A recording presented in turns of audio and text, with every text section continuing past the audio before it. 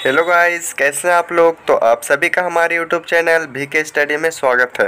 सो so guys आज के video में मैं आप लोग के लिए फिजिक्स के कुछ इंपॉर्टेंट क्वेश्चंस लाया हूँ, जिसमें हर टाइप के क्वेश्चन सम्मिलित है। तो वीडियो को बिना स्किप किए पूरा देखिएगा, क्योंकि ये वीडियो आप लोग के लिए बहुत हेल्पफुल होने वाला है। तो चलिए वीडियो को शुरू करते हैं।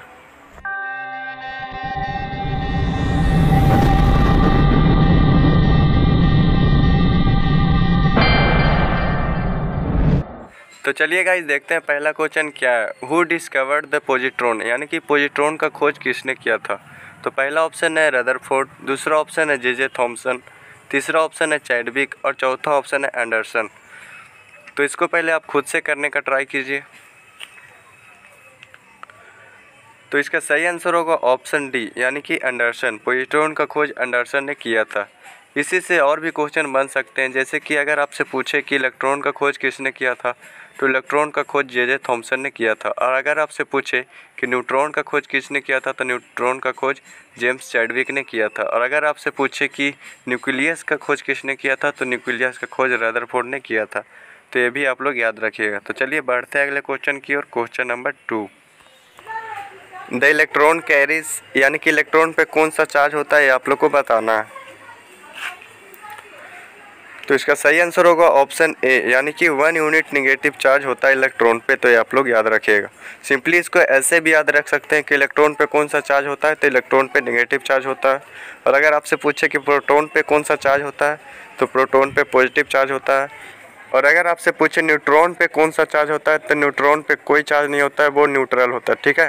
तो ये भी आप लोग याद रखिएगा। तो चलिए, बढ़ते हैं अगले क्वेश्चन की ओर question number three atoms having same atomic number, but different atomic mass is called. तो इसका सही आंसर होगा ऑप्शन बी यानी कि आइसोटोप्स आइसोटोप्स को हिंदी में समस्थानिक भी कहते हैं। और अगर आपसे पूछा जाए कि atoms having same atomic mass but different atomic number is called तो उसका सही आंसर होगा आइसोबार्स आइसोबार्स को हिंदी में संभारिक कहते हैं। तो ये भी आप लोग याद रखिएगा। तो चलिए बढ़ते हैं अगले क्वेश्चन की ओर question number four the size of nucleus is यानी कि इसमें आप लोग को बताना कि एटम्स का अंदर जो न्यूक्लियस होता है, उसका साइज़ कितना होता है। तो इसका सही आंसर होगा ऑप्शन डी यानी कि टेन का power minus fifteen metre nucleus का साइज़ होता है। तो ये भी आप लोग याद रखिएगा। तो चलिए बढ़ते हैं अगले क्वेश्चन की ओर question number five what does a radioactive substance emit यानी कि जो रेडियो एक्टिव सब्सटेंस होते हैं, वो क्या उत्सर्जित करते हैं, आप लोग को बताना है। तो इसका सही आंसर होगा ऑप्शन डी यानी कि ऑल ऑफ़ द एवव जो रेडियो एक्टिव सब्सटेंस होते हैं, वो alpha rays beta rays gamma rays तीनों रेज को उत्सर्जित करते हैं तो ये आप लोग याद रखिएगा। तो चलिए बढ़ते हैं अगले क्वेश्चन की ओर question number six three dimensional picture is taken by which of the following मतलब कि थ्री डायमेंशनल पिक्चर को खींचने में इनमें से किसका यूज़ होता है? तो इसका सही आंसर होगा ऑप्शन ए यानी कि होलोग्राफी का यूज़ होता है थ्री डायमेंशनल पिक्चर को खींचने में। तो ये आप लोग याद रखिएगा। तो चलिए बढ़ते हैं अगले क्वेश्चन की ओर question number seven who propounded the law of motion of the planet यानी कि इसमें कहा गया है कि ग्रहों के गति का नियम किसने प्रतिपादन किया? तो ये आप लोग को बताना है। तो इसका सही आंसर होगा ऑप्शन बी यानी कि केपलर के द्वारा ग्रहों के नियम का प्रतिपादन किया गया था। तो ये आप लोग याद रखिएगा।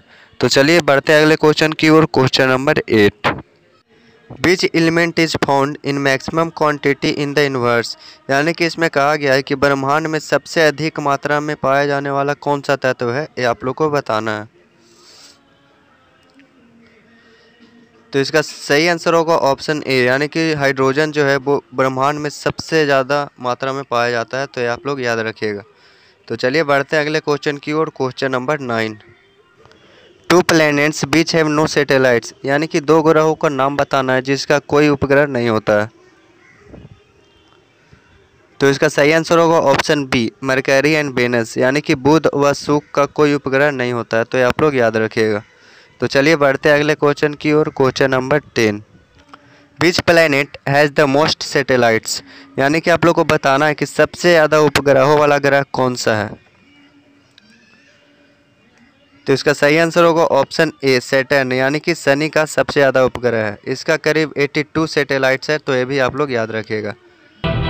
तो आज के वीडियो में इतना ही। अगर आपको वीडियो पसंद आया तो वीडियो को लाइक करें चैनल को सब्सक्राइब करें, और अगर आपको कोई भी डाउट हो तो आप कमेंट करना ना भूलें। तो मिलते हैं आपसे अगले वीडियो में। तब तक के लिए बाय